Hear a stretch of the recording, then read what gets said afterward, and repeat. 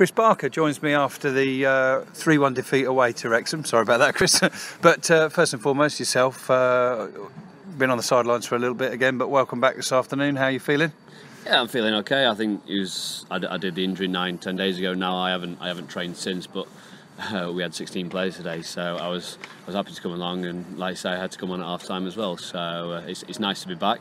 I know it wasn't as bad as, as last time, but you just got to be careful because uh, if, if I do it again, you're probably talking a month, six weeks, which we don't want. Uh, but I got through today, and hopefully I can recover the next day or two, and then I've got six, six, seven days to uh, to the weekend, see the FA Cup game. And uh, you know, I suppose it's a bit bit of an obvious statement to make, but in the end, today it proved a game too far for for, for, for the lads who've really shown tremendous everything, really character, courage, mental strength, you know, physicality in the last few weeks, but.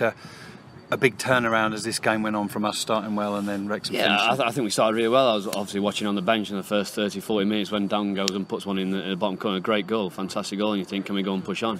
Uh, but unfortunately, we obviously Dan had an injury at half time well. He had to come on, uh, and he just sort of took the game, really took us. Uh, and I think we got stronger as the game went on as well, and we sort of got weaker.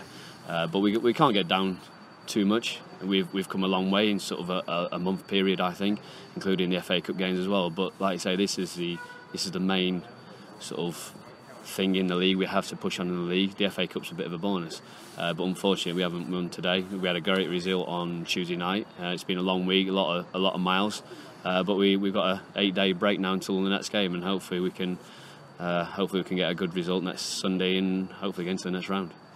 You mentioned uh, the knock to Dan Holman. It was a bit of a surprise to us. We did see he took a heavy challenge on half time. Have you any idea what the issue is? Uh, he's just literally walked back in, in crutches in, in the change room, so I'm not really sure what's actually, to be honest. But Glenn went down in the first 20 as well. Joe's obviously had stitches as well. So it's been one of them sort of battling games. So we can rebuild, we can restart again on probably Monday, Tuesday, and hopefully we get more injuries back as well. The other ones who are obviously not here today as well just taking it back in terms of the key moments for, for, for, this game, obviously we got a cracking start with that great goal, and, and I think until we scored, we were the better side. Mm.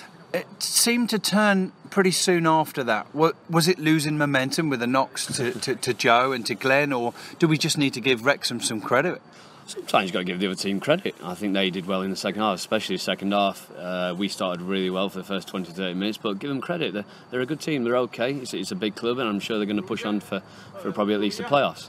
Uh, but sometimes we play a lot of games in certain days, and we haven't got a bigger squad at the moment. Obviously, we've got a lot of injuries, so hopefully they come back next week. But sometimes you've got to give the other team a credit, and like I say, we got away with one or two probably other chances they obviously created as well. But we've got to dig in. One one bad result is not end of the world.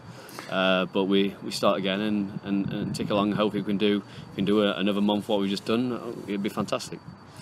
And uh, we normally say at this point that we've got a full week without a midweek game to prepare for Rochdale. We've actually got an extra day as well because it's a Sunday game. Yeah. So uh, I'm not sure how many will be at training though. Would it be five aside? well, we'll have to obviously go back on the bus now. Five hours yeah. back on the bus now. So uh, we'll see who's who's fit Monday morning and who, who, trains, like I say. But I think we've got eight injuries already as well.